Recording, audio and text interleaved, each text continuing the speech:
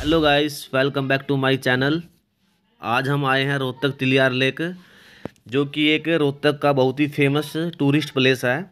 और यहाँ पे बहुत टूरिस्ट घूमने के लिए आते हैं। और बोटिंग इन्जॉय करते हैं। और यहाँ पर पार्क भी है। और इसी के साथ में खाना खाने के लिए बहुत अच्छे रेस्टोरेंट भी हैं। चलिए आओ देखते हैं।